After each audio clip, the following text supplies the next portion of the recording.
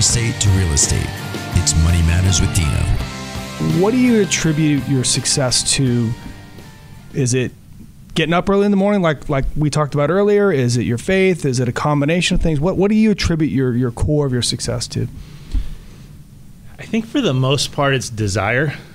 I, I want to be successful, and and it will start there, right? Because if you don't even desire it, then how are you gonna uh, how are you gonna have it? But then again, success comes in many different levels, and and really it's just a matter of what you think is successful. That's how I look at it.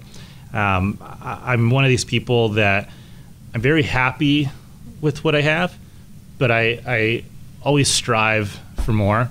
Um, I keep telling myself as I get older, there's got to be a point where I got to just chill out a little bit and and stop, just enjoy a little bit more of what I have. But I'm still I I'm 44, and I got to be honest, I, I feel like I'm 20. Yeah, and that's good. I mean, I'm going hard, I'm going strong, and I'm loving it. I'm enjoying it, and I think that's another piece of success right there is is the fact that I enjoy what I do every day.